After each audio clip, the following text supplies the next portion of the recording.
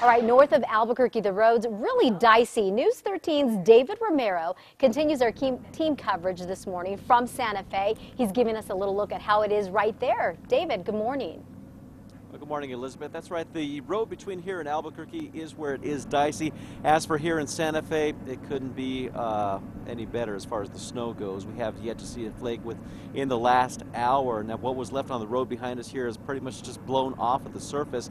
Off to the east right now, we can see the mountains of Santa Fe just a little bit. They're still, uh, looks like they're still getting socked in pretty good up there in the higher elevations. But as for where we're at right now, off of Cerrillos Road on the south side of the city, it's not that bad. The only thing we are dealing with right now are the cold temperatures. Now, the road up here was at times good and at times bad. Now, the video you should be seeing on the screen right now is an accident our crews, our crews filmed last night on the way back down to Albuquerque.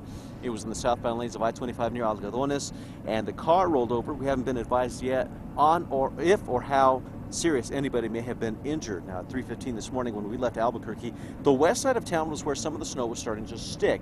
Then in parts of the heights, there wasn't much, but when we reached Tramway, there was a complete wall of snow and the freeway was snow-packed and icy. We saw a brief break in the bad conditions just north of Bernalillo.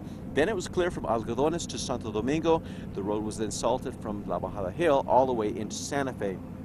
Now, throughout the morning, we're going to continue to remind you that it's not only snow and ice conditions you're going to have to deal with, it is the wind. Right now in Santa Fe, there is a light breeze that makes the wind chill into the single digits, just barely above zero.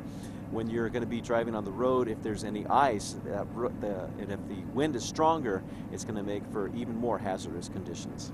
Elizabeth, back to you. No doubt, David. Thank you so much. By the way, NewMexicoRoads.com uh, reports that the Department of Transportation crews are getting to the serious road problems first as quickly as possible. Remember to stick with KRQE News 13 all day long. Kristen will